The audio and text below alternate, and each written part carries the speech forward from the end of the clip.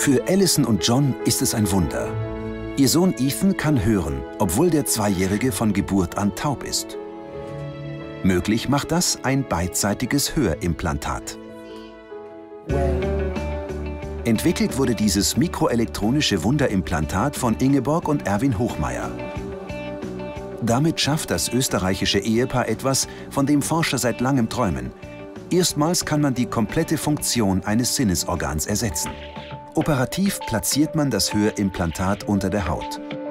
Ein Audioprozessor hinter dem Ohr nimmt analoge Schallinformationen auf, verarbeitet sie in digitale Signale und überträgt sie über eine Spule zum Implantat im Innenohr. Wir sehen hier ein schematisches Modell der Hörschnecke, der Cochlea. Hier sind die Härchen der Haarzellen. Sie leiten das Schallereignis an die Nervenfasern weiter und diese Nervenfasern liefern diese Information an das Gehirn ab und es entsteht ein Toneindruck. Bei Gehörlosen sind diese Haarzellen defekt. Das Cochlea-Implantat übernimmt deren Funktion und überträgt die Schallsignale direkt zum Hörnerv. Dort werden sie dann als akustische Signale wahrgenommen.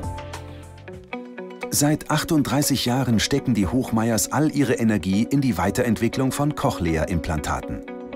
Über 200.000 Menschen auf der ganzen Welt tragen heute ein Cochlea-Implantat, made im Hause Hochmeier.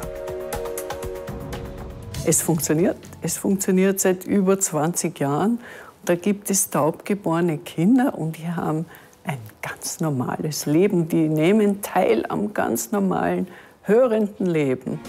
Für ihr Lebenswerk sind Ingeborg und Erwin Hochmeier nun für den Europäischen Erfinderpreis nominiert.